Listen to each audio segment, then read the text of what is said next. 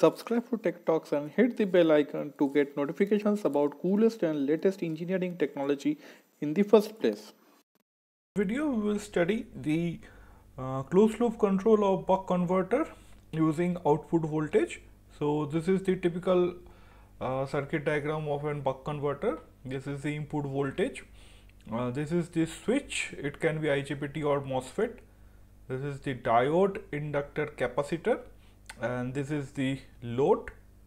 So, to start with we will first decide the specifications.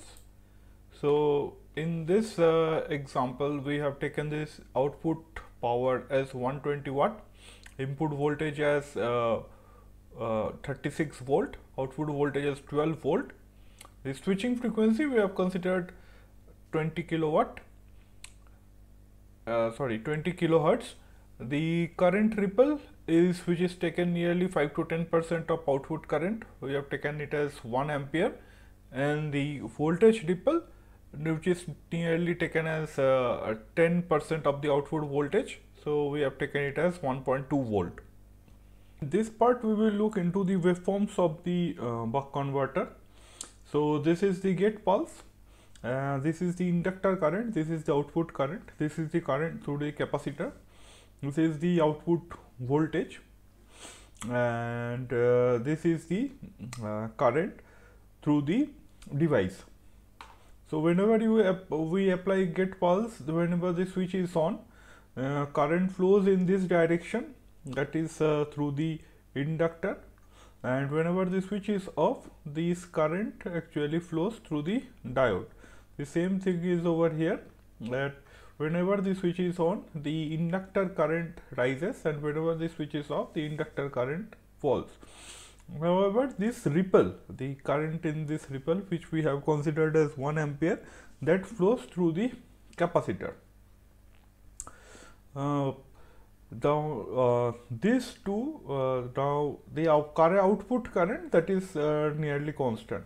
Now this is the mm, current through the device so, IL minus IG, so this part of the current, so this actually flows through the diode.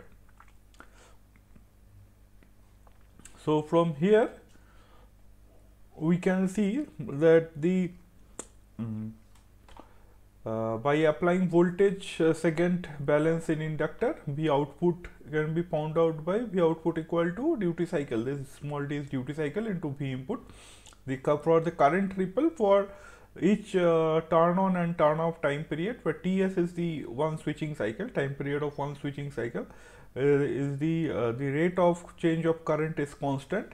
So i uh, from this formula we can find out l and uh, the voltage ripple that is from the charging and discharging of the capacitor that resides the voltage ripple now the AC part of the inductor current that flows through the capacitor. So when we have found out the L, so putting that one in this formula, we can find out the C. So all these have been uh, uh, done in a MATLAB program. You can see over here that the output power is 120 watt, V input and V output is 36 volt and 12 volt respectively. Switching frequency is 20 kilohertz. So when we uh, uh, run this program we get the value of C as uh, 5.2 microfarad. The value of D that is the duty cycle it, it is in closed open loop.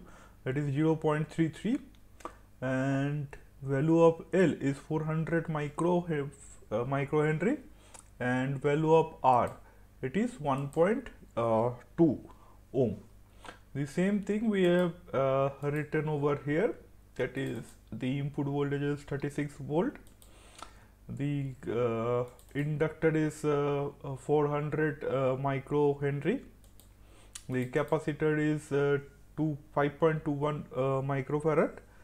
And the value of r is 1.2 ohm. This is the open loop condition of the buck converter now for the closed loop condition we will uh, first uh, sense the output voltage for that we have taken a voltmeter over here voltage measurement and uh, this is the uh, signal for that uh, we will be using to uh, see make the closed loop of the system. So in this step we will see that how the closed loop of this buck converter is done. So from the output uh, we have taken the output voltage so that will be going through a sensor. If sensor is not required we will take the sensor gain as 1. So this is the uh, voltage reference. So we will subtract this. This is the error that is generated. So this error will be going through a PI controller, well-designed PI controller. So that will be giving out a, a the duty cycles uh, that is required duty cycle function. So with that duty cycle function, we will generate the PWM and it will be again uh, firing the uh, uh, uh IGBT or MOSFET of the uh, buck converter. For in this case, it is IGBT. So this will create the gate pulse over here. So so uh, the open loop transfer function for this V output to the duty cycle, it is coming as V input 1 by 1 plus S L by R plus S square LC. So from the earlier step, in this step we will be uh, uh, doing the closed loop uh, part of this buck converter so the output voltage uh, input that is uh, taken out from here is uh, put here. So this is the reference voltage. So in the reference voltage we have taken that initially it will be 5 volt and uh, final value it will be uh, 10 volt. And so it will be subtracted. So it will be uh, subtracted from the this voltage. And from here we will be take, uh, getting a PI controller. And the PI controller will be compared the output of the PI controller will be compared with a uh, uh, Sawtooth wave. The uh, time period of the Sawtooth wave is 20 kilohertz. Okay so you can see that it will vary from 0 to 1 and the time period when it will be 0 it will be at 0 second and when it will be 1 it will be at 1 by 20000 uh, uh, second. Uh, so it will be compared and after comparison the gate pulse that will come out from here so so this will be firing this IGBT so uh, so what will be the uh, uh, value of this PI controller we will be finding out uh, uh, from the um, transfer function that we have discussed in the previous step.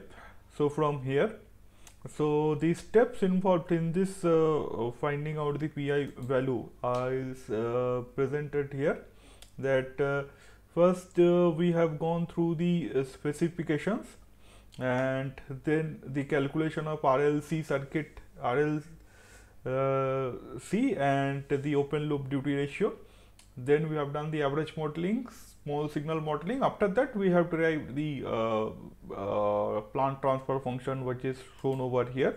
I have not in, gone into the details of uh, small signal modeling and average modeling.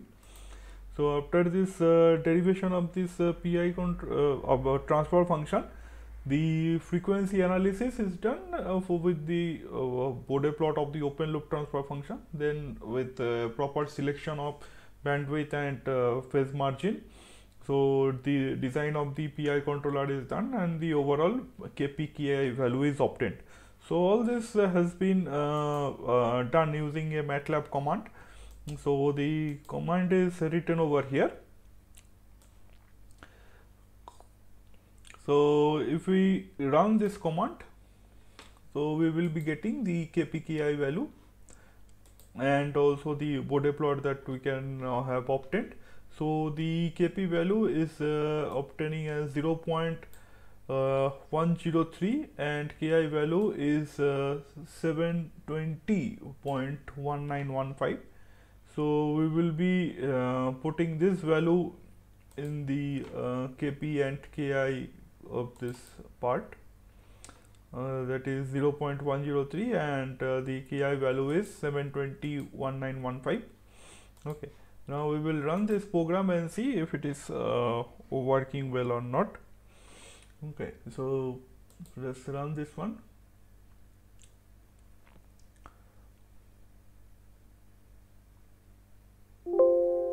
so it is running so this is the uh, reference voltage and this is the uh, output voltage. So we will check uh, this one whether it, it is, it is uh, tracking the reference voltage or not. So we can see that uh, the uh, output voltage is tracking the reference voltage beautifully and now let us just uh, change this uh, value. Mm, now let us suppose uh, this uh, final value is 12 volt. Initially we have considered that the output voltage will be 12 volt and let us again run this one.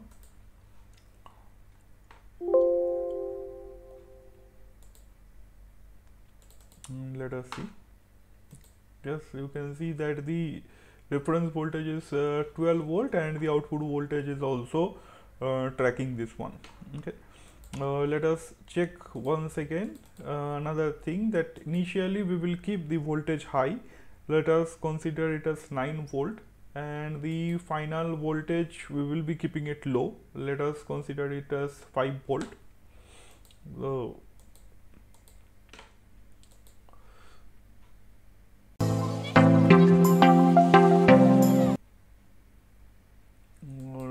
run this program and see if it is tracking the voltage well or not. Yes here also it is tracking. You can see this yellow line. So this is the reference voltage and the blue this is the uh, uh, actual output voltage. So it is tracking the uh, voltage beautifully uh, the uh, link of this program is in the description uh, below. So if you like this video do like share and subscribe to our channel. And if you have any uh, comments or queries you can uh, write to us in the email that is provided in the description box. Uh, thank you and meet you soon in the next video. Comment below about how you like this video Check out the links in the description box about more such videos. Do click the like button if you like the video. If you are new to this channel, subscribe Tech Talks and don't forget to hit the bell icon.